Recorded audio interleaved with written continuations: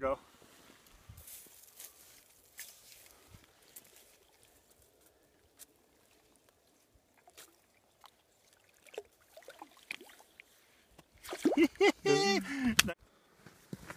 All right, ready? Stop it. Hey guys, you just saw that big fish we caught. Big reason we catch fish is good sharp hooks.